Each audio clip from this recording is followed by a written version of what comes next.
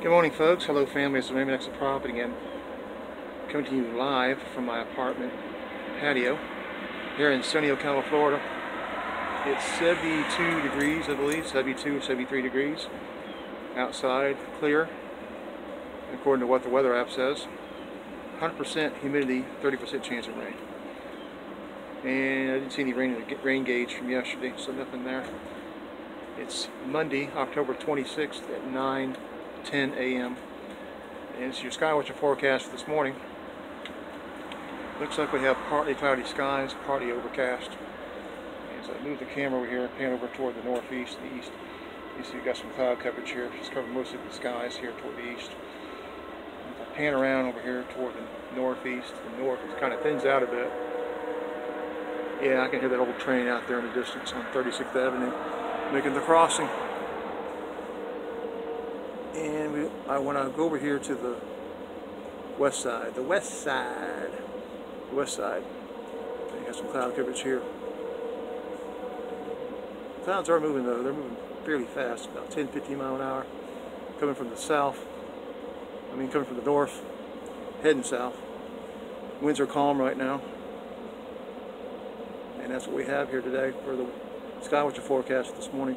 Thank you for joining me this morning. It's I it's 9, 11 a.m. And it's really good look. It's going to be a really nice day. It looks like it might get hot up to maybe the low 80s, low to mid 80s, 80s in there. You just want to see what you can see here in these clouds. Quilted northern toilet tissue. anyway, guys, go ahead and have a great day on me. Have a great day. God bless you all as you go about your day today. Remember that Jesus Christ is coming very soon, sooner than you think.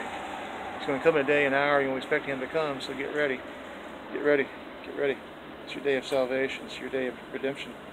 This is your decision day. Your day to repent, for the kingdom of God is at hand right now. So don't be caught spiritually asleep. And old train out there. So, God loves you, so do I, very much so. I think about you guys all the time. Okay, maybe not all the time, but I do think about you guys. Even when I say my prayers at night, when I go into worship, my prayer closet, I pray for all of you, the people I know. I even pray for the ones I don't know. Look at these clouds over here in this distance. Wow, look at that. You know, it's going to be a very nice day today. Okay, folks, I'm not going to keep you keep you too much more. Everyone have a great day. God bless. Take care of yourselves. Remember, Jesus Christ is coming soon, very, very soon. This is your day of repentance. This is your day to make it right with God. All you got to do is confess your sins to Jesus.